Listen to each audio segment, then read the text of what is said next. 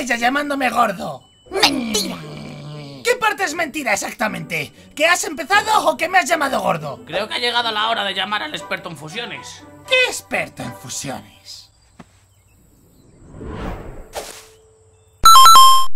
¡Sí! ¡Encontré los huesos! ¡Encontré los huesos! Sí, luego de ponerme los anteojos y revisar todo el capítulo, encontré que en el minuto 8 se encuentra el primer hueso escondido, justo al lado de Raptor, el experto en fusiones. Ese miserable es un genio. ¡Que nos matamos!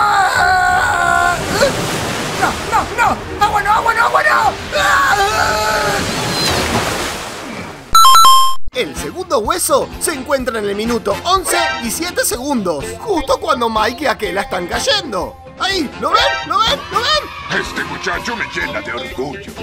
¿A qué estaba difícil, no es cierto? ¿Ustedes pudieron encontrar el hueso? Déjamelo en los comentarios. Esa es una excelente pregunta.